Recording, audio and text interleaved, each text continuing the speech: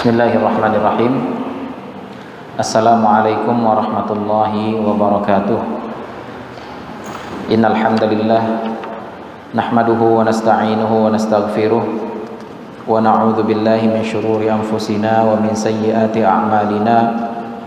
May yahdihillahu fala mudilla lahu wa may yudlil fala hadiya lahu wa ashhadu an la ilaha illallah wahdahu la syarika lahu واشهد ان محمدا عبده ورسوله لا نبي بعده يا ايها الذين امنوا اتقوا الله حق تقاته ولا تموتن الا وانتم مسلمون يا ايها الناس اتقوا ربكم الذي خلقكم من نفس واحده وخلق منها زوجها وبث منهما رجالا كثيرا ونساء واتقوا الله الذي تساءلون به والأرحام إن الله كان عليكم رقيبا يا أيها الذين آمنوا اتقوا الله وقولوا قولا سديدا يصلح لكم أعمالكم ويغفر لكم ذنوبكم ومن يطع الله ورسوله فقد فاز فوزا عظيما أما بعد فإن أصدق الحديث كتاب الله وخير الهدي هدي محمد صلى الله عليه وسلم وشر الأمور محدثاتها فإن كل محدثة بدعة وكل بدعة ضلالة وكل ضلالة في النار Para jamaah sekalian, kaum muslimin dan muslimat, a'azzani Allah wa iyyakum.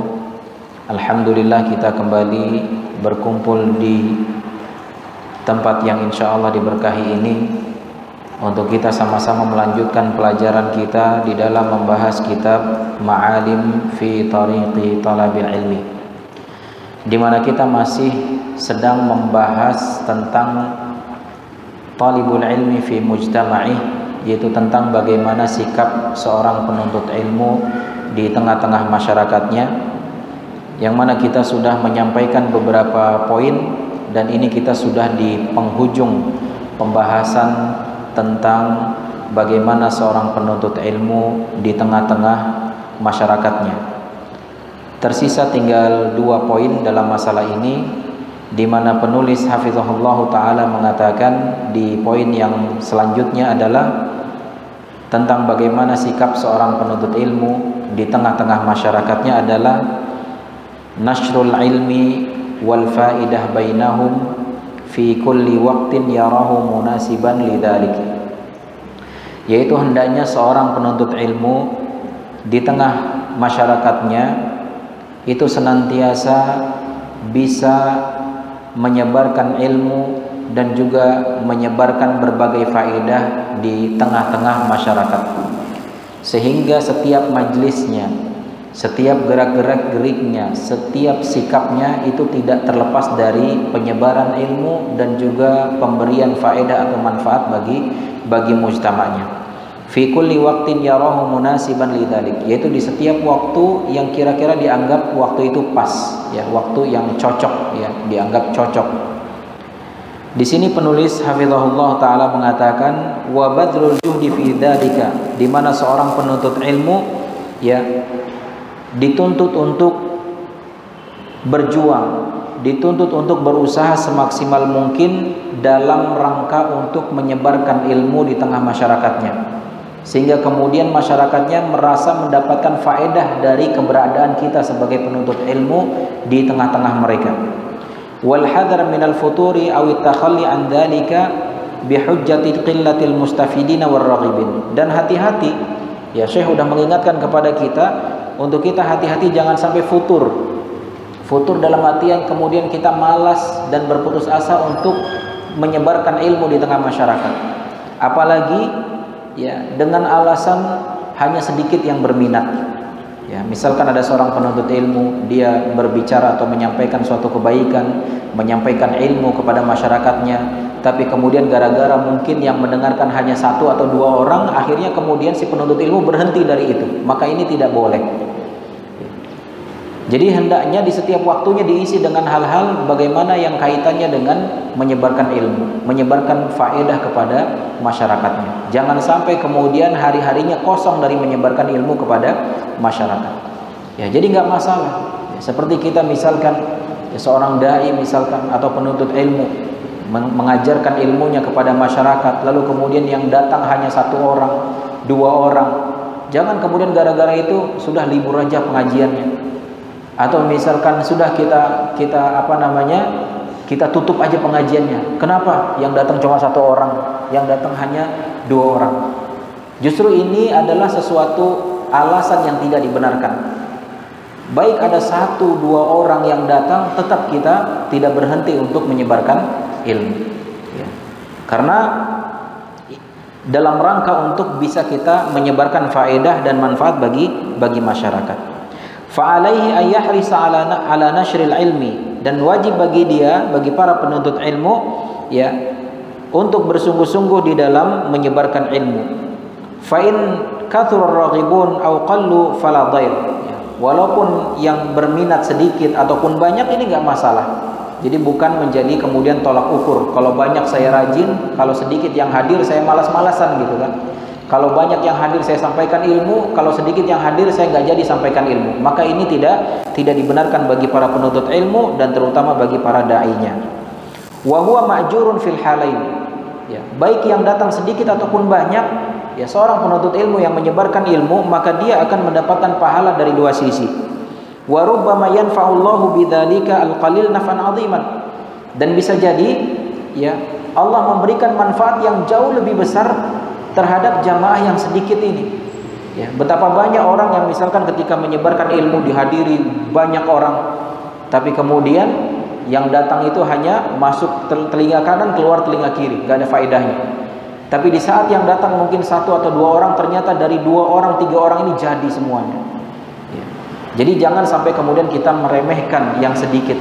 Jadi walaupun sedikit yang datang satu atau dua orang tetap jalan menyampaikan ilmu tetap jalan. Wa idza ata alaihi qillatul muntafi'in falyaj'al nasab 'ainaihi hadis ya'ti an-nabiyya wa ma'ahu an-nafar wa ya'ti an-nabiyya wa ma'ahu al-'ashrah wa yatin nabiyya wa ma'al khamsah wa yatin nabiyya wa laysa ma'ahu ahad. Dan kalau seandainya ya terkadang bisa saja kita sebagai penuntut ilmu di saat kita menyampaikan ilmu di tengah masyarakat, terkadang kita memiliki perasaan down ketika mendapati oh ternyata yang datang sedikit. Ya, dan ini juga ujian bagi kita para penuntut ilmu, terutama bagi para dai. Ya, jangan sampai kemudian dia merasa senang ketika jamaah yang hadir banyak dan merasa berkecil hati ketika yang datang sedikit. Ya.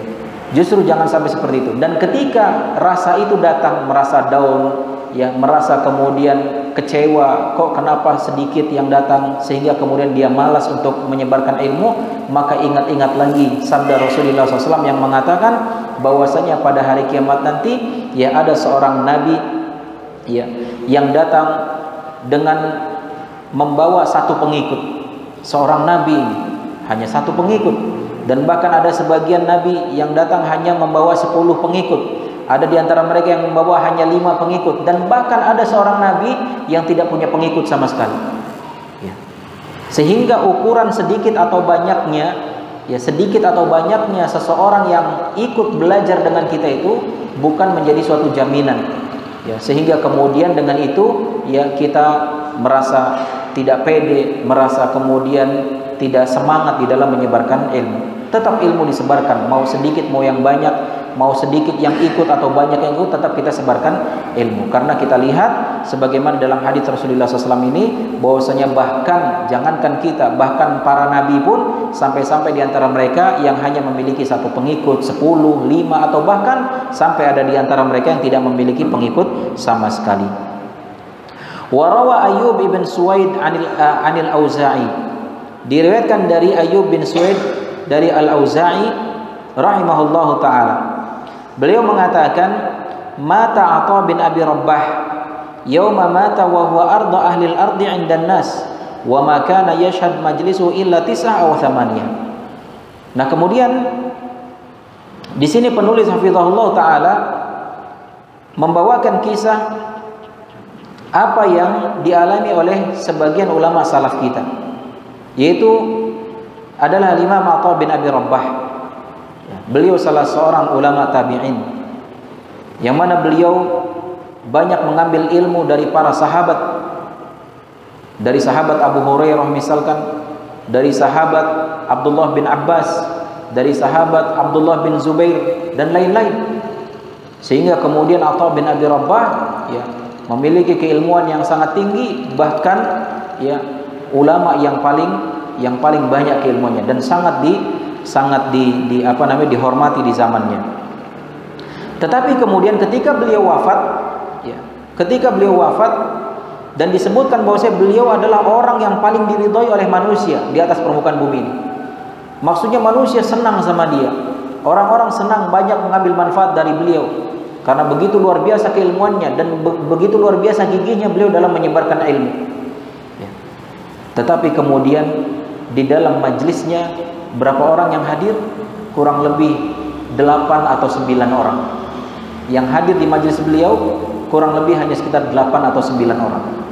Tapi Masya Allah, beliau memiliki kebaikan yang luar biasa dan bahkan ilmunya sampai saat ini ya sering para penuntut ilmu menyebutkan namanya meriwayatkan ya perkataan-perkataan beliau dalam masalah agama. Wal yahdar kullal hadar min madakhil syaitan wal ujub 'inda kathratil hudur.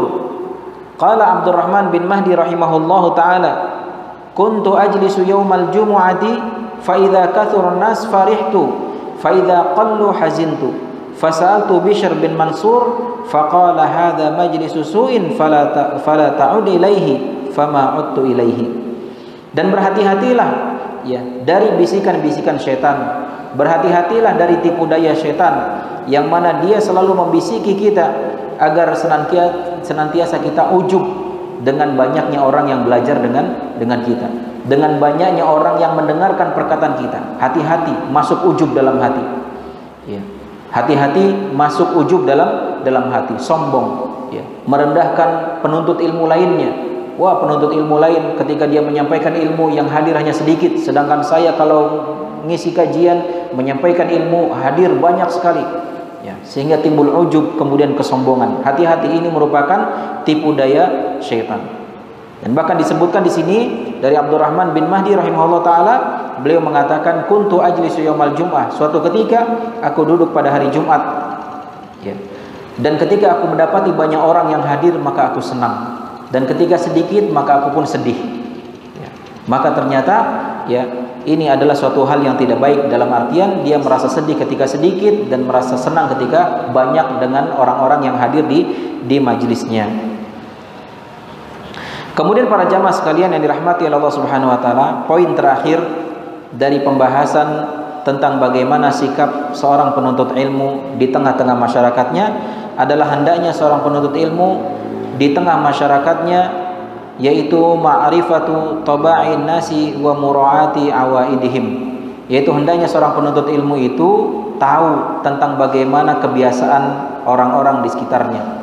Tentang bagaimana adat istiadat kebiasaan masyarakat di situ. Ya dan harus benar-benar memperhatikan. Dalam artian jangan sampai kemudian kita menyelisihi hal-hal yang sebenarnya tidak perlu diselisihi. Ya kecuali kalau memang bertabrakan dengan agama selagi itu masih dibenarkan tidak menyelisihi syariat Islam lebih utamakan ikut dengan apa yang sudah menjadi tradisi di di masyarakatnya. Sehingga masyarakat akan lebih legowo untuk menerima menerima kita. Jangan kemudian kita di tengah masyarakat tiba-tiba tampil beda. Ya tampil tampil beda.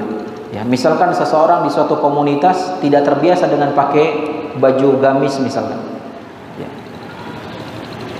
yang di masyarakat itu biasa pakai pakaian biasa, menutup aurat biasa, lalu kemudian pakai gamis. Ya. Yang khawatir ini kemudian menjadi pakaian syuhrah, ya. menjadi pakaian syuhrah yang itu menjadi suatu yang tabu misalkan ini ya kalaupun ada. Tapi alhamdulillah ya di negeri kita zaman sekarang udah biasa pakai pakai gamis. Ya.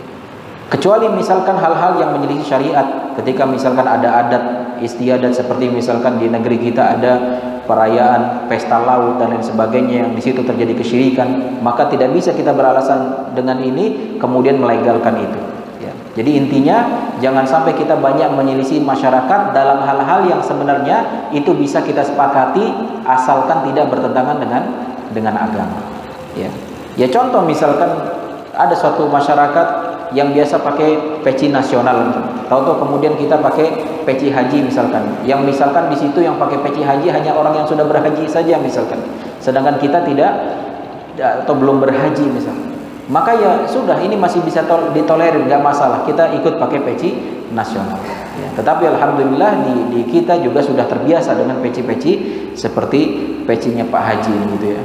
Jadi seperti itu. Dan inilah dia Ikhwan akhwat yang dirahmati Allah Subhanahu wa taala, ya, poin-poin pembahasan tentang bagaimana seharusnya sikap seorang penuntut ilmu di tengah masyarakatnya. Dan ini tujuan utamanya adalah agar benar-benar masyarakat itu bisa ya bisa kita bawa dalam artian bisa kita nasihati dan kemudian kita juga di tengah masyarakatnya bisa memberikan manfaat bagi bagi mereka di dalam penyebaran ilmu dan juga memberikan contoh contoh yang baik bagi bagi mereka.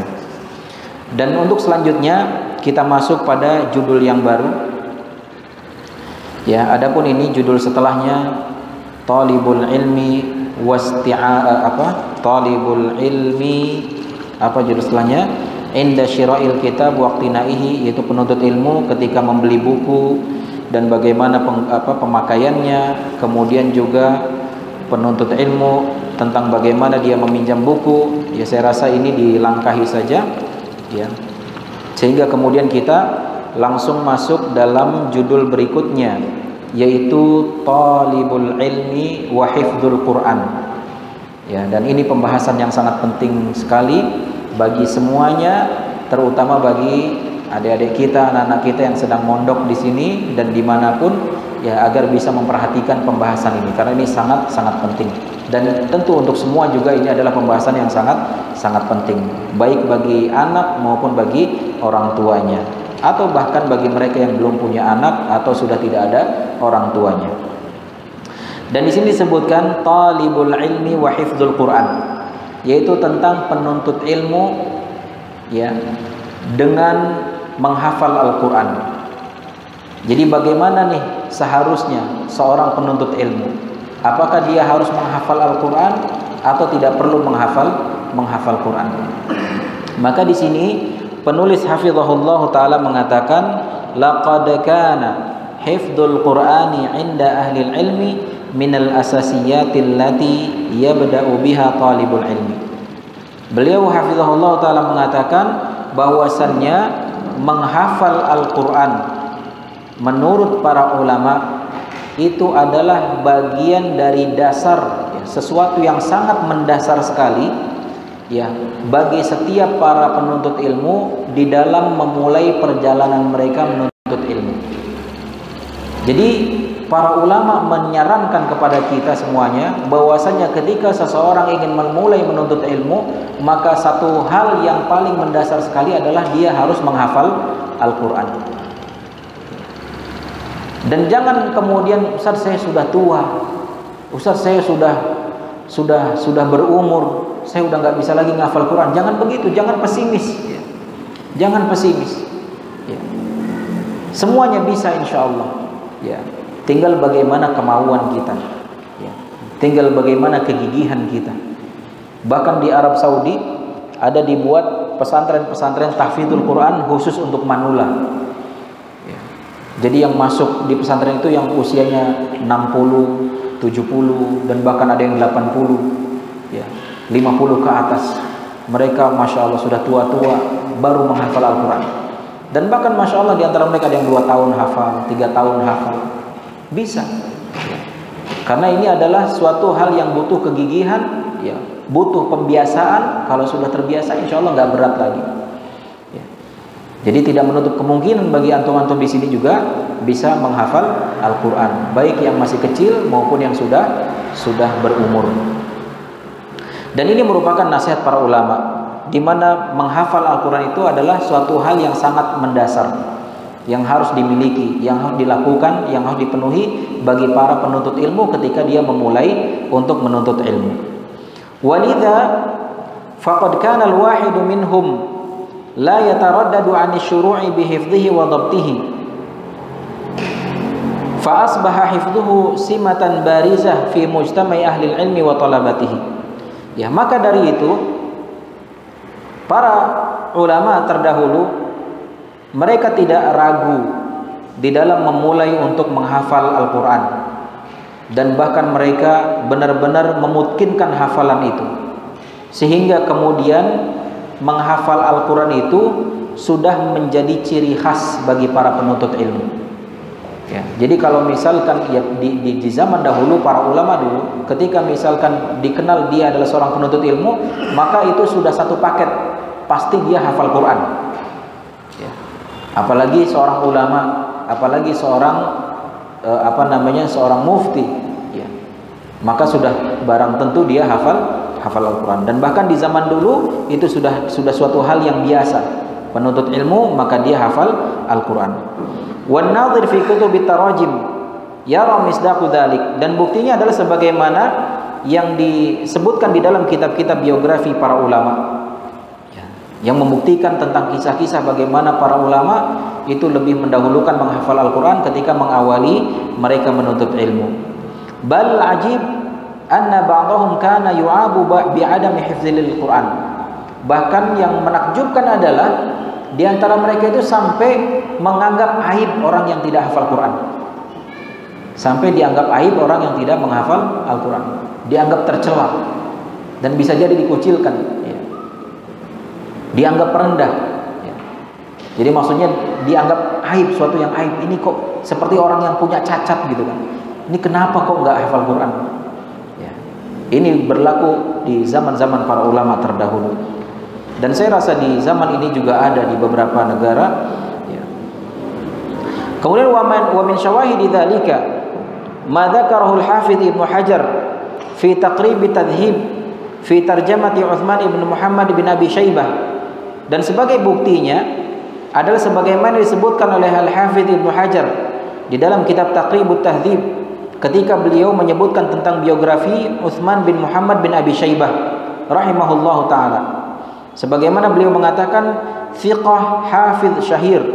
Jadi Al-Imam Ibnu Hajar Al-Asqalani rahimahullah taala sedang menjelaskan tentang biografi seorang ulama hadis yang bernama Utsman bin Muhammad bin Abi Syaibah. Sedang dijelaskan kondisi orang ini. Maka kemudian Al-Imam Ibnu Hajar mengatakan beliau ini yaitu Uthman bin Muhammad bin Abi Syaibah ini adalah thiqah, hafid syahid, yaitu orang yang terpercaya dan orang yang terkenal. Walahu auham, tapi ada cacatnya nih orang. Apa cacatnya? Waqila kana la yahfadul Quran. Cacatnya adalah karena dia tidak hafal Quran. Dianggap dianggap aib. Dianggap sesuatu cacat. Ya. Sehingga kemudian ini menjadi menjadi sebuah kritik, menjadi pertimbangan tertentu untuk apakah diterima hadisnya atau atau tidak. Ya, ini zaman dulu. Ya. Masya Allah. Wala budda an yuqalu huna inna hifdzal Quran laisa wajiban ala talibil ilmi. Ya. Dan tentu kita harus mengatakan bahwasanya memang benar hifdzal Quran, menghafal Al-Quran itu adalah bukan suatu hal yang wajib bagi penuntut ilmu. Hukumnya enggak wajib. Ya, hukumnya tidak tidak wajib. Ya. Bukan berarti kemudian penuntut ilmu kalau nggak hafal Al-Quran dia berdosa gitu enggak. Ya. Ini bukan suatu hal yang hukumnya wajib. Lakin hifdhahu miftahun li tariqil hifzi wal fahmi. Akan tetapi ya dengan menghafal Al-Quran maka itu adalah menjadi kunci ya, kunci bagi dia untuk bisa menghafal materi-materi yang lain dan juga untuk bisa memahami memahami pembahasan pembahasan yang lain. Tentu kaitannya dalam memahami masalah agama. Ya. Ketika dia sudah menghafal Al-Quran, kemudian dia belajar tauhid, dalilnya ini itu segala macam, dia sudah hafal. Ya. Ketika dia belajar fikih, ini dalilnya ayat Al-Quran begini, begini, begini, surat ini, ayat ini, dia sudah hafal. Jadi mudah. Ya. Jadi lebih lebih mudah dibandingkan orang yang ketika belajar agama belum hafal Quran, ya bingung harus nyari-nyari dulu. Ya surat apa ya dicari. Bahkan bisa jadi baru tahu ternyata ada surat namanya surat ini misalnya. Nah, tentu ini akan menyulitkan, akan menjadi hambatan yang sangat yang sangat besar bagi para penuntut ilmu jika para penuntut ilmu tidak tidak menghafal Al-Qur'an. Walaupun memang tidak tidak wajib bagi penuntut ilmu untuk menghafal Al-Qur'an. Wa hadha musyahad fi talabatil ilmi al-hafidhina lahu. Ya. Walidha alaika ya talibal ilmi al-ihtimam bihadzal amr. Ya. Maka dari itu bagi para penuntut ilmu untuk benar-benar memperhatikan perkara ini yaitu tentang menghafal Al-Qur'an wa mudha'afatul juhdi fit tahsil dan harus bersungguh-sungguh di dalam meraih ya di dalam berusaha untuk bisa menghafal Al-Qur'an. Ya, jadi sungguh-sungguh kita punya target. Ini anak-anak kita alhamdulillah dari awal masuk sudah ada target masing-masing. Ya, ada yang targetnya Ustaz saya pengen hafal Quran 2 tahun. Benar ya? Siapa kemarin yang janji 2 tahun? Yang punya target 2 tahun. Lupa. ada yang targetnya 3 tahun, ada yang targetnya mungkin 4 tahun. Ya Masya Allah kita support. Ya, Bismillah. Yang penting niatnya sudah ada, tinggal bagaimana kita sungguh-sungguh dan jangan lupa tentu kita memohon pertolongan Allah Subhanahu wa taala agar diberikan kemudahan wa mudha'afatul judi fit tahsil ya. Jadi harus bersungguh-sungguh di dalam di dalam meraihnya yaitu menghafal Al-Qur'an. Wal ya'lam talibal ilmi anna hifdzal Qur'an wal amal bihi mimma yaziduhu rif'atan wa uluwan. Dan perlu diketahui ini salah satu keutamaan bagi para penuntut ilmu. Bahwasanya para penuntut ilmu yang menghafal Al-Qur'an dan kemudian dia mengamalkan isi kandungan Al-Qur'an dari apa yang dia hafal itu maka ini akan menambah kedudukan dia. Menambah kedudukan dia. Sebagaimana disebutkan dalam hadis Rasulullah SAW innallaha yarfa'u bihadzal kitabi aqwaman wa yadha'u bihi akharin. Sesungguhnya Allah Subhanahu wa taala mengangkat ya sebagian orang dengan Al-Qur'an ini dan juga menghinakan sebagian orang karena sebab Al-Qur'an ini Ya, bagaimana kita supaya diangkat dengan Al-Quran ini?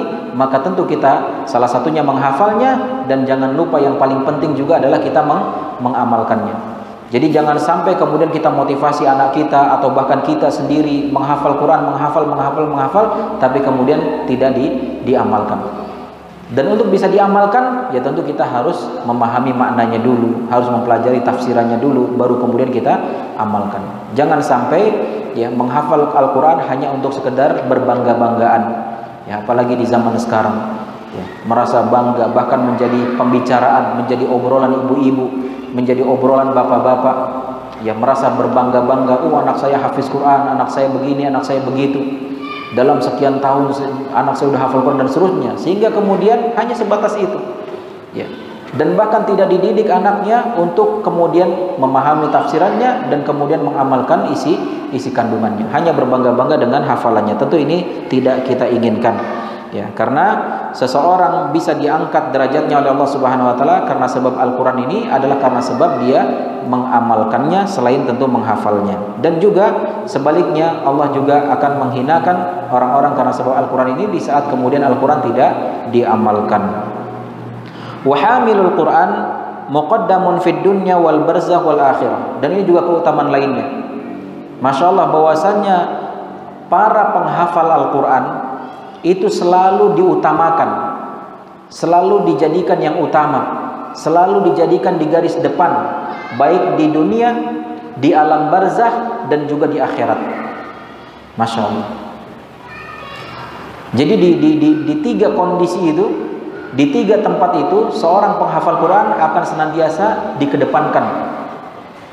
Dan ini merupakan suatu kemuliaan khusus bagi para penghafal Quran.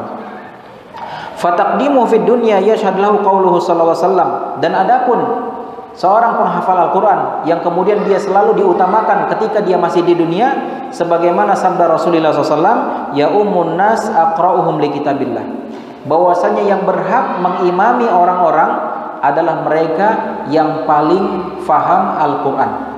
Dan salah satunya adalah dia yang hafal Al-Quran bagus bacaannya dan juga mengamalkan isi kandungannya.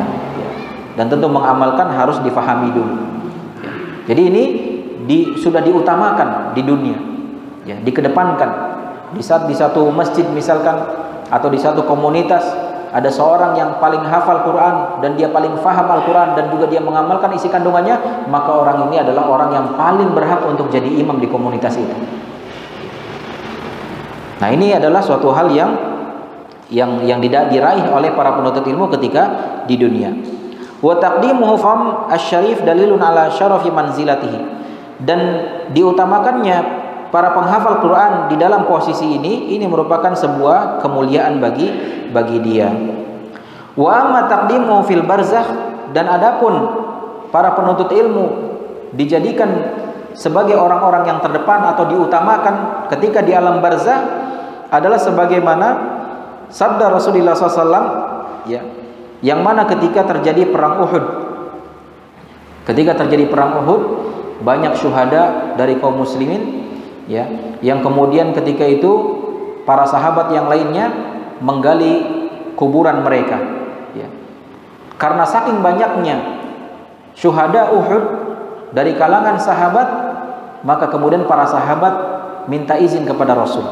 Ya Rasul bagaimana kalau seandainya ya ini satu liang digabung untuk beberapa jenazah? Ya. Karena ini suatu hal yang berat.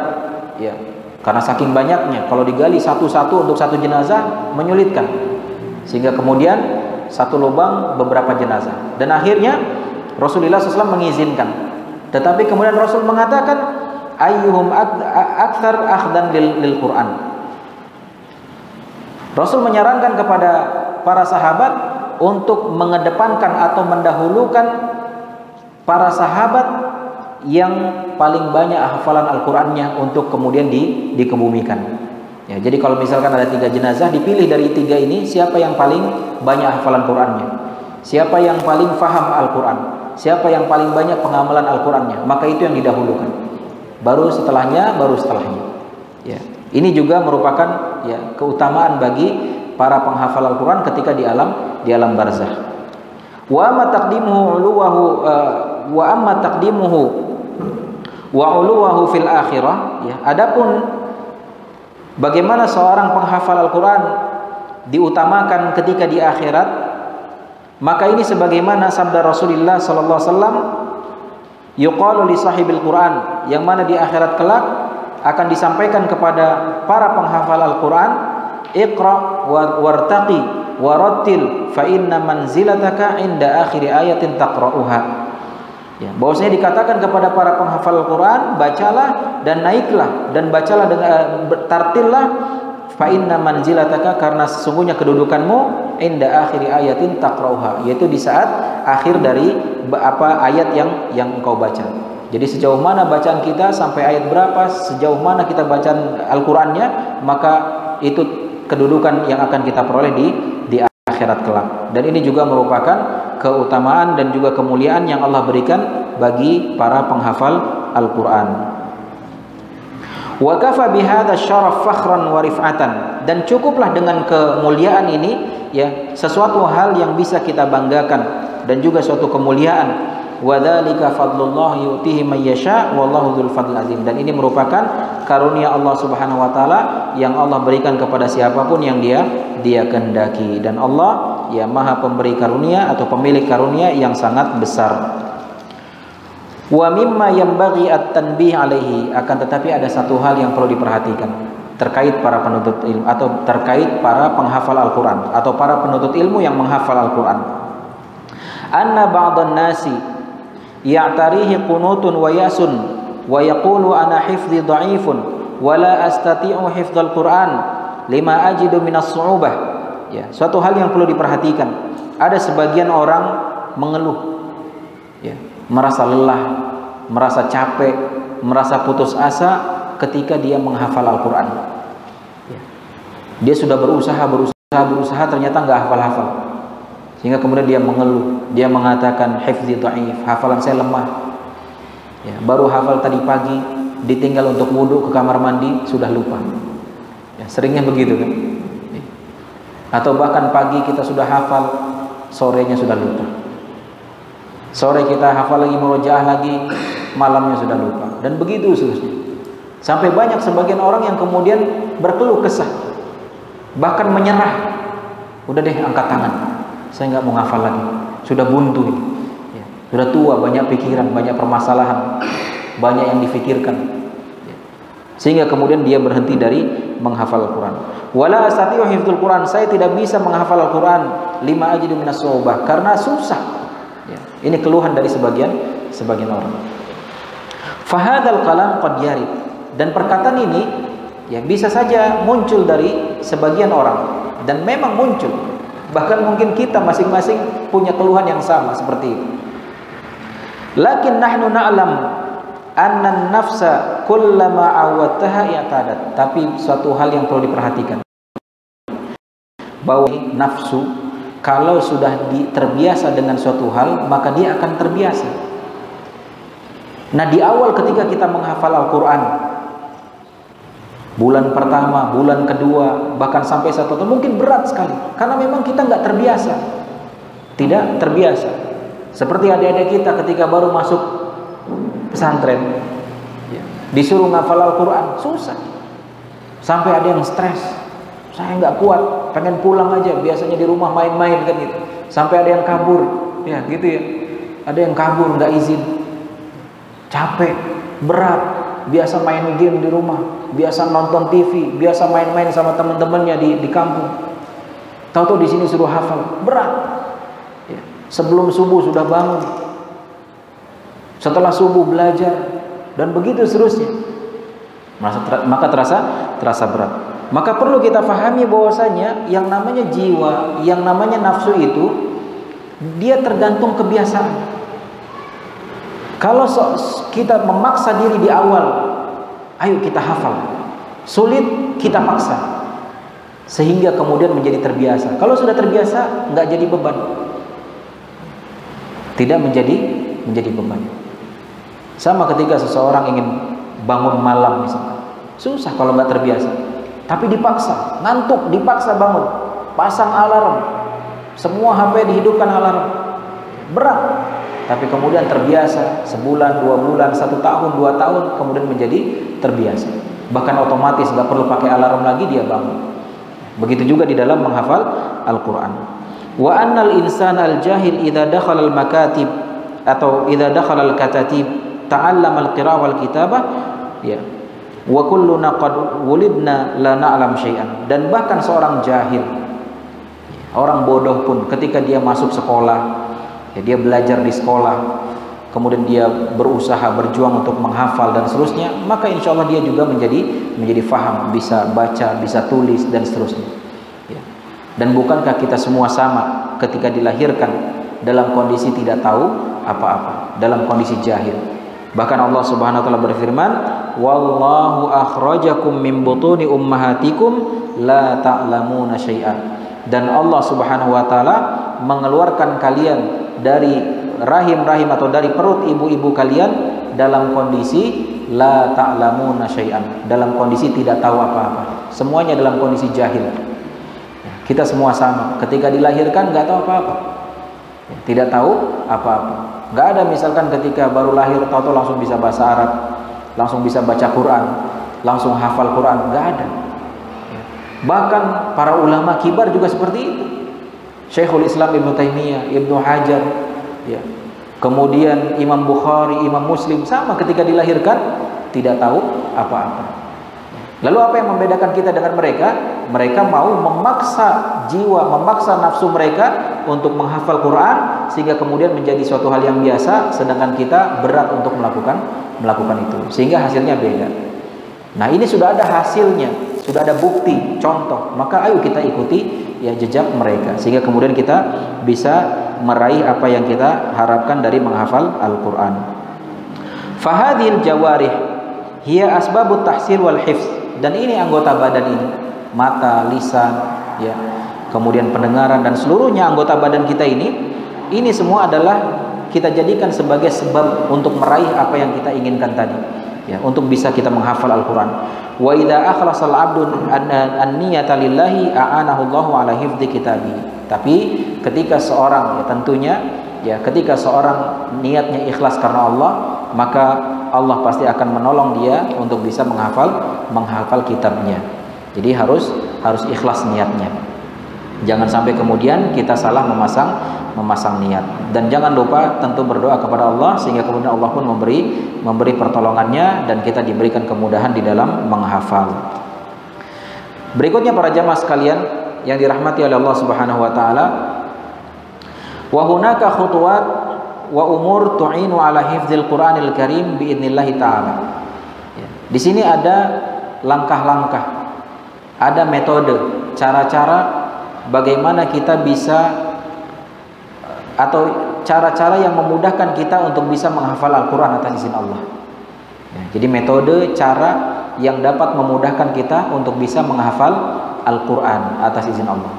Ya. Insya Allah kita semua bisa ya melakukan langkah-langkah ini semuanya. Mudah-mudahan Allah memberikan kemudahan bagi kita untuk bisa mulai menghafal Al-Quran. Ya. Dan ini bagi semuanya, ya. baik yang masih muda maupun yang sudah tua, baik yang anak-anak maupun yang dewasa. Cara yang pertama di dalam kita agar mudah menghafal Al-Quran adalah ikhlasun niyah. Niatnya ikhlas. Dan ini berkali-kali kita tekankan terkhususnya kepada anak-anak kita di pesantren dari awal pertemuan kita dulu waktu antum baru-baru masuk pesantren Ustadz sudah sering sampaikan bahwasanya di dalam kita mengawali menghafal Al-Quran mengawali belajar ilmu agama itu harus dilandasi dengan niat yang ikhlas ya, niat yang yang ikhlas. Jangan sampai kemudian ada niatan duniawi. Saya pengen menghafal Al-Quran supaya bisa dibilang sebagai seorang hafid, supaya dipuji, supaya dilulukan oleh masyarakat, supaya ditinggikan derajatnya, supaya begini begitu. Jangan. Ya. Jadi benar-benar niatnya ikhlas karena Allah. Kita menghafal Al-Quran supaya kita dapat pahala, supaya kita juga bisa mempelajari tafsirnya, supaya kita juga bisa mengamalkan kandungannya, supaya kita bisa baca dalam salat-salat kita dan lebih bisa menghayatinya. Jadi ikhlas karena Allah Subhanahu wa taala. Wa yakuna hifdhahu ibtigha'a mardatihi dan hendaknya hafalannya atau e, aktivitas menghafalnya itu dilakukan dalam rangka mencari keridhaan Allah Subhanahu wa taala wa an yakuna aunan lahu ala taatillahi wa ala tahsilil ilmi dan kemudian kita niatkan juga ya agar menjadi pembantu atau penolong bagi kita dalam rangka melakukan ketaatan kepada kepada Allah dan juga dalam rangka untuk memudahkan kita untuk bisa meraih meraih ilmu. Jadi sebagai penunjang, penunjang kita untuk bisa lebih taat kepada Allah, penunjang kita untuk bisa lebih mudah dalam mempelajari ilmu-ilmu agama, ya dengan menghafal Al-Quran. Faida jahadal insanu nafsahu fi taqwimin niyatihi. Dan apabila seseorang telah bersungguh-sungguh ya untuk mengondisikan jiwanya dalam ya menjadikan niatnya itu lurus karena Allah dan juga wajah dan nafsahu dan juga dia bersungguh-sungguh mengkondisikan jiwanya, mengkondisikan niatnya atau mengkondisikan dirinya fi amalil asbab min qiraatil Quran wa tardidihi ya yaitu dengan mengambil sebab di dalam menghafal Al-Qur'an itu dengan sering-sering membacanya kemudian mengulang-ulangnya fi ana'il lail wa atrafan nahar baik di malam hari maupun di siang hari fa inna dzalika insyaallah yuyassiru lahu hifdzul Qur'an. Karena dan hal yang demikian itu atas izin Allah akan diberikan kemudahan. Jadi niat ikhlas dan dia bersungguh-sungguh untuk bisa mengkondisikan jiwanya agar senantiasa ikhlas dan dia juga bersungguh-sungguh untuk mengambil sebab ya yaitu dengan mengulang-ulangnya murojaah balik siang dan dan malam. Maka dengan cara begitu insya Allah ya Allah akan memberikan kemudahan bagi kita untuk bisa menghafal Al-Quran. Kemudian cara yang kedua ya atau langkah yang kedua agar seseorang dimudahkan di dalam menghafal Al-Quran adalah qiraatu tafsiri ma turidu hifdhahu minal ayat yaitu membaca tafsir dari ayat-ayat yang ingin dia hafalkan. Ya. Dan ini bahkan cara yang pernah kita tempuh. Ketika kita menghafal Al-Qur'an ya sebelum kita hafal itu kita baca dulu ya. Mungkin awalnya kita baca terjemahannya ya, terjemahannya. Dan kita yang mungkin punya uh, apa namanya basic bahasa Arab sehingga kemudian ada sedikit koneksinya gitu kan. Sehingga ketika misal dan ini sangat membantu. Ketika misalkan kita lupa nih setelah ini ayat apa ya? Dan kemudian kita ingat oh ini ayat ini berkisah tentang tentang suatu kisah misalnya maka oh awalnya tentang ini. Lalu kemudian kita bisa langsung langsung teringat ya. Karena kemudian kita hafal dari kata-katanya atau maknanya dan kemudian juga kita sedikit bisa bahasa bahasa Arab ya. Sehingga kemudian lebih memudahkan kita di dalam menghafal. Qira'atu tafsiri ma turidu hifdhahu minal ayat yaitu membaca tafsir ya dari ayat-ayat yang ingin kita baca atau yang ingin kita hafalkan. Alaysa minat taksir annana nahfadhu suwaran qabla ayyamurra alaina sinu taklif wa ila hadhil lahdhah wa nahnu najhal katsiran min kalimatiha aw min alfadhiha bukankah menjadi suatu hal yang rugi ya suatu hal yang yang membuat kita rugi di saat kita dari kecil sudah menghafal Al-Qur'an bahkan sampai besar tapi kemudian kita tidak memahami maknanya. Ya padahal ya Al-Qur'an itu diturunkan oleh Allah Subhanahu wa taala hudalil muttaqin sebagai petunjuk bagi orang-orang yang bertakwa. Dan dia bisa menjadi petunjuk ya di saat kita memahami isi kandungannya sehingga kemudian kita bisa amalkan. Kalau hanya sekedar dibaca saja hanya sekedar dihafal saja tapi nggak paham apa yang dibaca ya ini sangat rugi sekali. Walaupun memang tetap berpahala ya orang sekedar membaca juga pahala ya. Yang satu hurufnya 10 kebaikan ya. Tetapi rugi di saat kemudian apa yang dia hafal tidak dia fahami maknanya sehingga kemudian sulit bagi dia untuk bisa mengamalkannya. Kemudian poin yang yang ketiga tentang bagaimana tata cara agar kita bisa mudah untuk menghafal Al-Qur'an yaitu al-qiyamu bima yahfaz fi salatil laili wa tardidu lahu yaitu mengulang-ulang hafalan di sholat malam.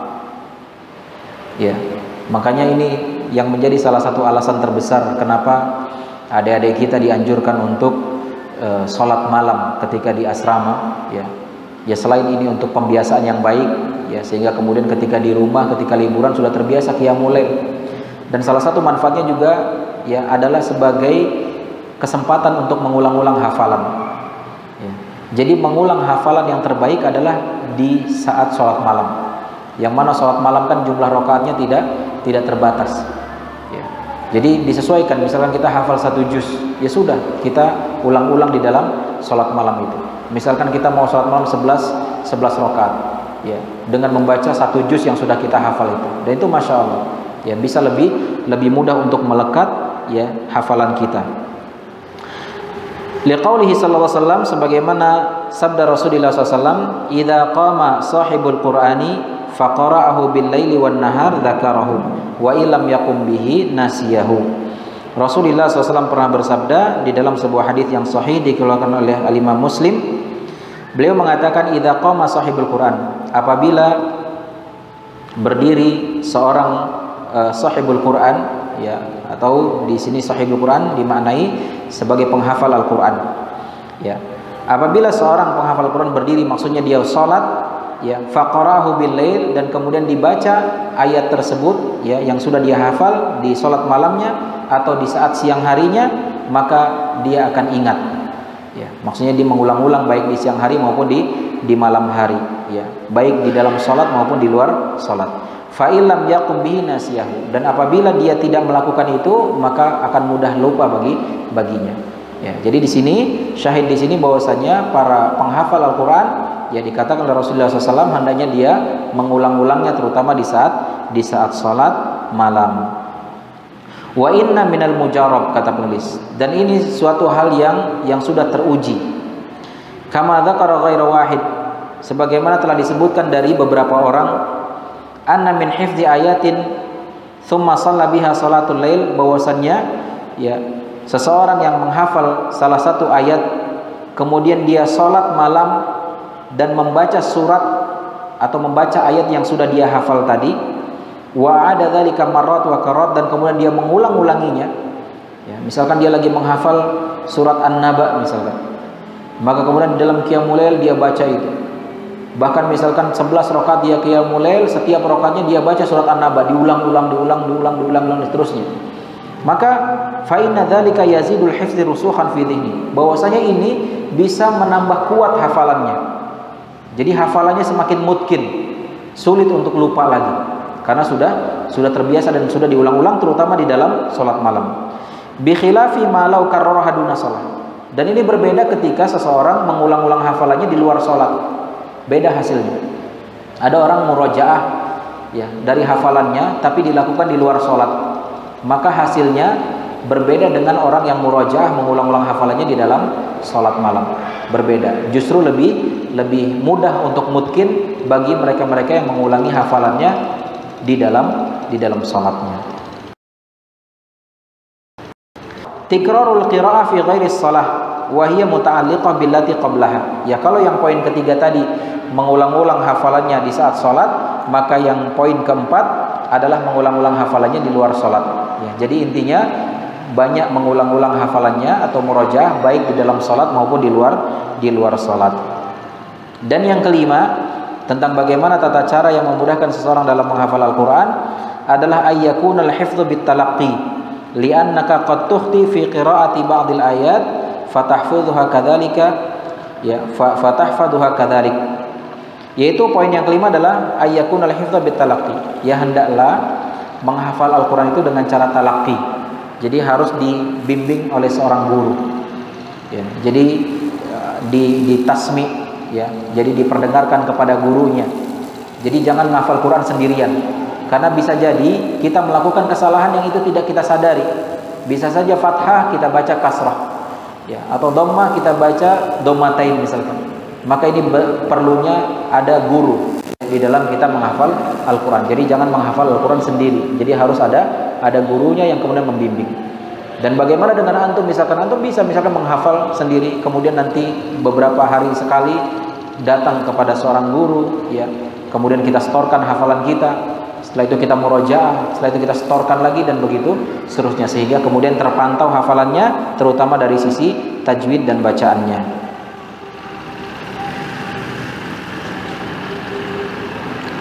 Kemudian yang keenam antakunal qiraah awil hifz ala nusha wahidah. Ya jadi hendaknya dianjurkan nih bagi para penghafal Al-Qur'an. Ketika dia menghafal Al-Quran ini dianjurkan memakai satu mushaf ya jangan ganti-ganti mushafnya. Ya. jadi kalau misalkan dari awal kita menghafal dengan mushaf misalkan mushaf cetakan Madinah ya maka sudah pakai itu saja sampai selesai. Jangan sampai kemudian nanti bulan ini pakai yang ini saat nanti bulan depan ganti lagi mushafnya jangan. Tapi udah jelek Ustaz sampulnya. Ya, nggak masalah. Justru kalau udah jelek ini membuktikan bahwasanya Al-Qurannya sering dipakai. Ya, justru kita curigai kalau seandainya Qurannya masih bagus, ini jangan-jangan Qurannya nggak pernah di, dipakai gitu. Jadi diusahakan memakai satu mushaf. Karena namanya orang menghafal itu dia pasti sudah langsung terbayang ya tulisan dari Al-Quran itu dan dia terbayang posisinya di mana. Oh ini di bagian atas ini, oh ini bagian bawah. Ya, terbayang dia. Sehingga seolah-olah ketika dia menghafal itu ya seolah-olah dia sambil melihat gitu. Nah kalau seandainya kemudian mushafnya ganti, ya biasa dia menghafal nih posisinya ada di baris tengah, tahu-tahu pas ganti mushaf, tahu-tahu barisnya ada di baris atas misalkan. Jadi bingung, jadi bikin kacau hafalnya. Ya, jadi ini fungsinya kenapa dianjurkan di dalam kita menghafal Al-Quran itu mushafnya cukup satu saja dan tidak berganti-ganti. Dan kalau misalkan gantinya dengan mushaf lain yang tapi cetakannya sama, secara urutannya sama, ya itu nggak masalah ya nggak masalah. Tapi kalau seandainya beda cetakan sehingga kemudian menjadikan halamannya berubah atau posisi ayat-ayatnya e, penempatannya berubah maka tentu ya sebaiknya dihindari hal-hal yang seperti itu. Kemudian para jamaah sekalian yang dirahmati Allah Subhanahu wa taala selima menit lagi ya. Di sini kemudian disebutkan oleh penulis hafizahullah taala Wahuna amrun labu dan alaihi dan juga ada suatu perkara yang perlu diperhatikan bagi para penghafal Al-Qur'an yaitu al-hadar min dukhulil ya'si ila qalbihi bisababi tuli muddatil hifdi. Yaitu hati-hati jangan sampai kemudian ada masuk rasa bosan, rasa putus asa. Ya, rasa menyerah dengan gara apa gara-gara ini waktu menghafalnya kok lama ya maksudnya dia misalkan sudah dua tahun sudah tiga tahun kok nggak hafal-hafal? Sehingga akhirnya udah deh saya angkat tangan saya nggak sanggup. Atau mungkin hanya sekedar untuk menghafal surat al-bayyinah misalkan. Ya, surat al-bayyinah yang mungkin anak-anak kita bisa menghafalnya dalam waktu satu hari dua hari kita bahkan berbulan-bulan nggak hafal-hafal. Atau mungkin surat yang lebih pendek kita nggak hafal-hafal surat al-kafirun misalkan. Sudah hafal surat al-kafirun? Ya. benar sudah hafal ada sebagian orang yang ngakunya sudah hafal tapi ketika baca nangis karena nggak ketemu ujungnya. Mana? Qul ya ayyuhal kafirun la a'budu ma ta'budun wa la antum 'abiduna ma a'bud wa la ana 'abidu ma battum wa la antum 'abiduna ma a'bud wa la ana 'abidu ma battum wa la antum 'abiduna ma nggak ketemu ketemu ujungnya kan ya. ada sebagian orang sehingga kemudian akhirnya menyerah udah saya nggak bisa ya, jangan sampai gitu justru di dalam menghafal Al-Quran itu dibutuhkan kesabaran. Dibutuhkan kesabaran. Walaupun katakanlah misalkan lima tahun 10 tahun kita nggak hafal-hafal tetap kita mendapatkan kebaikan. Ya. bayangkan di saat tiap harinya kita mengulang-ulang baca Al-Quran mengulang-ulang hafalannya satu hurufnya dikali 10 sehari kita muroja sudah berapa huruf itu? Kali 10 kebaikan. Masya Allah, panen pahala. Jadi walaupun misalkan ternyata nggak hafal juga gitu kan, insya Allah pahala banyak. Ya. Makanya di sini dikatakan oleh Syekh, hati-hati, jangan biarkan masuknya rasa bosan, putus asa di dalam hati kita karena sebab merasa lama di saat dia meng menghafal. Kok nggak hafal-hafal waktunya sudah sudah lama. Falaqad salaf. Nah, ini kita lihat bagaimana para salaf dulu dalam menghafal Al-Qur'an. Apakah mereka seperti apa namanya masak mie instan langsung jadi, langsung hafal Quran? Enggak juga. Justru mereka juga menghafal membutuhkan waktu yang yang tidak sedikit. Di sini dikatakan faqad kana salaf bahwasanya para ulama salaf terdahulu yajlisuna zaman at-tawil fi hifdz surah al-wahidah. Bahkan para ulama salaf terdahulu sampai mereka ya membutuhkan waktu yang sangat lama hanya untuk menghafal surat wa ma yaziduhum dzalika illa tetapi waktu yang lama yang mereka butuhkan untuk menghafal hanya hanya satu surat itu tidak membuat mereka menyerah. Justru itu membuat mereka semakin bertambah ketekunannya dan semakin gigih untuk bisa menghafalnya. Falaqad warada anna ibna amr radhiyallahu taala anhuma maka sabit asinin fi surah al-baqarah bahkan telah disebutkan Ibnu Amr Abdullah bin Amr radhiyallahu anhuma salah seorang sahabat Rasulullah SAW beliau menghafal surat al-baqarah. Di ada di kita yang sudah hafal surat al-baqarah. Berapa tahun? Imam berapa tahun menghafal surat al-baqarah? Dua tiga tahun. Hah? tiga bulan tiga bulan hafal surat Al-Baqarah. Masya Allah. Berarti Abdullah bin Amr sahabat Rasulullah SAW kalah tentang masalah Sahabat Abdullah bin Amr radhiyallahu anhu menghafal surat Al-Baqarah bin asinin. Bin asinin itu antara tiga tahun sampai sembilan tahun. Paling cepatnya tiga tahun. Menghafal surat Al-Baqarah saja. Tetapi kemudian itu tidak membuat beliau menyerah. Beliau tetap berjuang, bahkan tambah tekun, tambah bersungguh-sungguh. Ya. Jadi di saat kita baru menghafal sebulan, dua bulan, udah nyerah. Apalagi kalau kita bikin apa namanya uh, halaqah hifzul Quran misalnya. Ya, tadinya pesertanya banyak, ada puluhan, nanti satu-satu hilang. Entah ke mana larinya. Malu Ustaz, saya nggak mau datang lagi hafalan nggak nambah-nambah susah ngafalnya. Nah, yang tadinya 60 orang sisa satu orang. Banyak kayak gitu. Ya jadi jangan menyerah.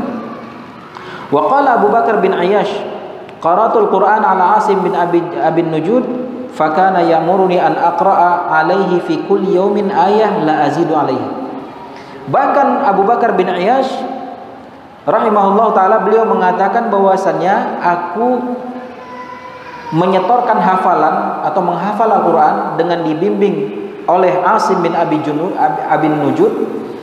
Dan kemudian gurunya ini menyuruh kamu cukup satu hari hafal satu ayat aja. Nggak boleh lebih. Muridnya kaget kenapa harus satu ayat saya mampu lebih dari itu. Dan kemudian muridnya merasa saya khawatir kalau seandainya satu hari cuma dikasih jatah hafal satu ayat Khawatir nih gurunya udah meninggal duluan, sedangkan saya belum selesai hafalannya. Sehingga kemudian muridnya ini memohon, memohon, memohon supaya bisa dikasih tambahan dan diizinkan satu hari hanya boleh nyetor lima, lima ayat saja. Masya Allah. Dan apakah kemudian itu membuat dia nyerah, membuat dia lari, ah malas ah kelamaan? Enggak. Tetap justru dia tekun dan juga sabar di dalam menghafal sehingga hasilnya luar biasa, mungkin. Ya. Dan tentu ini lama. Kalau satu hari cuma satu ayat hafalnya, Berapa tahun baru bisa hafal Quran? Lama kan? Ya. Lama sekali. Faya talibal ilmi Hadari minal ya'si Wahai para penuntut ilmu ya Hati-hatilah dengan yang namanya putus asa Wabdul juhdaka bisidqin dan bersungguh-sungguhlah kerahkan segala kemampuanmu dengan penuh kejujuran. Falantara biidnillah dan kamu tidak akan melihat atas izin Allah illa ma yasurruka wa yuthriju sadraka kecuali apa-apa yang membuat kamu senang, kamu bahagia dan juga membuat membuat bahagia hati kamu. Ya, dengan kita bersungguh-sungguh, dengan kita sabar, dengan kemudian kita menangkis segala bentuk kebosanan, segala bentuk putus asa, maka dengan kita melakukan itu, maka tunggu saja. Ya, sesuatu yang menggembirakan akan menghampiri kita dan sesuatu yang membuat hati kita adem itu akan akan kita raih. Wa tadzakar qaulan Nabi dan ingatlah sabda Rasulullah SAW, innamal ilmu bitta'allum. Sesungguhnya ilmu itu dengan cara bersungguh-sungguh untuk belajar. Ya. Jadi kalau kita mau punya ilmu, makanya sungguh-sungguh. Kita peras keringat banting tulang ibaratnya untuk kita meraih meraih ilmu. Kita sabar di sana. Kita menghilangkan segala kebosanan, menghilangkan segala sifat putus asa. Dan bahkan Rasulullah SAW mengatakan, "Waman yatasabbar yusabbiruhullah." Siapa yang bersungguh-sungguh berusaha untuk menyabarkan dirinya, maka Allah pasti akan memberikan kesabaran pada pada dia. Wa alam anna atran nas 'alal ilmi wa mujah anna atran nafs 'alal ilmi wa mujahadatuha 'ala dhalika yurithu talib ilman jamma wan nazir fi siyari salaf as-salih yara misdaqiyati dhalika wa kama qila bis sabri wal yaqin tunalul imamah fid din. Ya jadi bahwasannya niatan yang baik kemudian kita bisa mengkondisikan jiwa kita dan kita dalam rangka bersungguh-sungguh untuk meraih ilmu dan juga menghafal Al-Qur'an, maka sesungguhnya ini bisa bisa memberikan seorang penuntut ilmu yaitu ilmu yang yang banyak ya.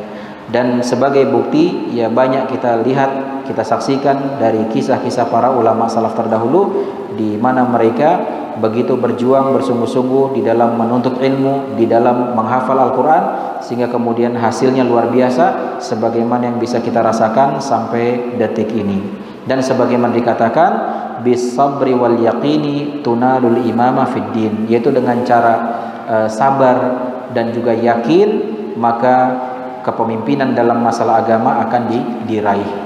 Ya bahwasannya seseorang di saat kemudian dia bersabar dalam menuntut ilmunya kemudian dia tahan banting ibaratnya dan dia jauhi sifat-sifat tercela dia jauhi putus asa maka insya Allah ya ilmu pun akan dia raih sebanyak-banyaknya sehingga kemudian dia bisa menjadi pemimpin dalam dalam ilmu tersebut. Allahu alam bisawab ikhwan akhwat yang dirahmati Allah Subhanahu wa taala. Kita cukupkan sampai di sini dulu ya pembahasan tentang bagaimana penuntut ilmu dengan menghafal Al-Quran. Dan insya Allah di pembahasan yang akan datang akan kita lanjutkan penjelasan tentang apa yang sedang kita bahas ini. Allah alam bisawab ikhwan saya rasa tidak ada pertanyaan karena sudah uh, sore. Kita tutup saja dengan doa kafaratul majlis. Subhanakallahumma bihamdika asyhadu an la ilaha illa anta astaghfiruka wa atubu ilaik. Wa sallallahu ala muhammad wa ala alihi wa ashabi ajmain. Wa akhiru da'wana alhamdulillahirabbil alamin. Assalamualaikum warahmatullahi wabarakatuh